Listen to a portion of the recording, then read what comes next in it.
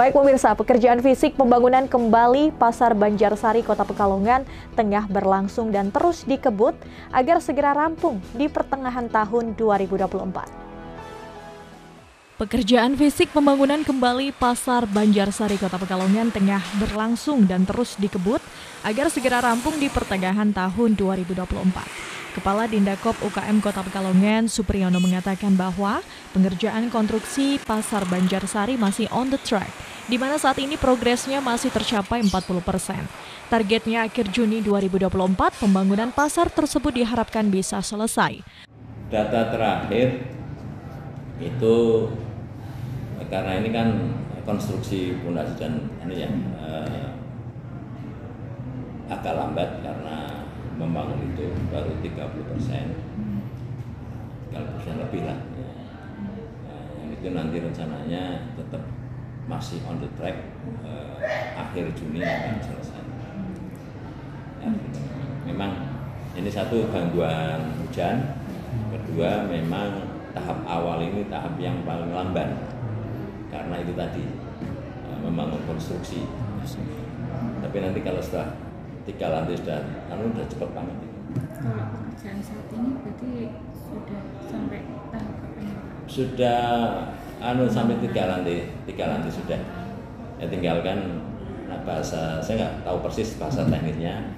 Tinggal nanti kan eh, kalau sudah berdiri gitu kan tinggal dilengkapi, dilengkapi yang ada yang sudah sifatnya hanya nempel misalnya atap dan sebagainya kan itu nanti cepat banget eh, dari presiden kemarin lewat Menteri Perdagangan waktu groundbreaking itu minta supaya eh, pasar Banjarsari yang bagian dari proyek strategis nasional itu eh, selesai pada akhir Juni kemudian maksimal Agustus bisa digunakan dan rencananya Bapak Presiden yang akan meresmikan itu.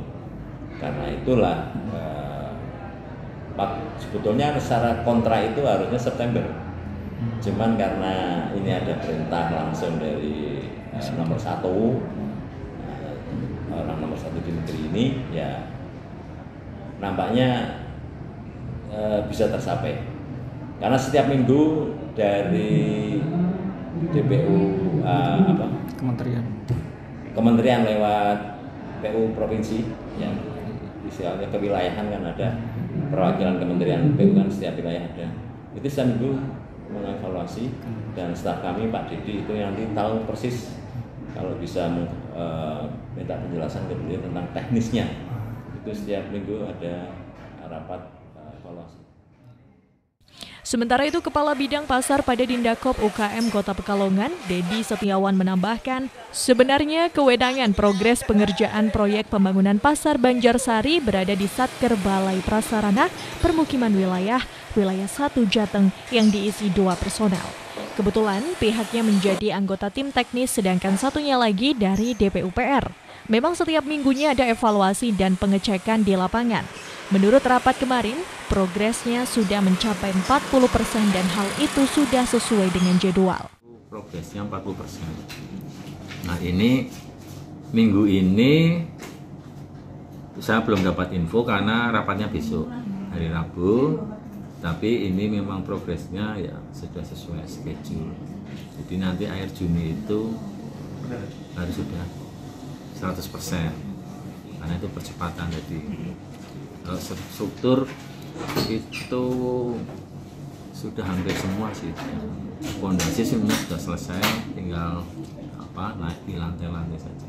Gedung satu itu sudah lantai tiga. Ini malah nanti rencananya mau memasang atap.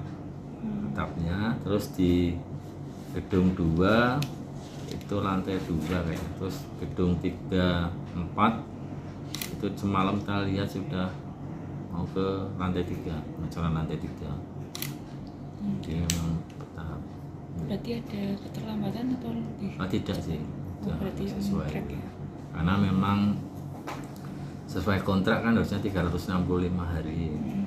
Tapi ini karena percepatan menjadi 9 bulan.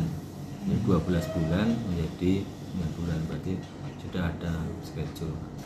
Karena kalau terlambat itu paling kemarin terkait hujannya sih. Karena kalau pengecoran itu hujan lebat harus berhenti. Tuh.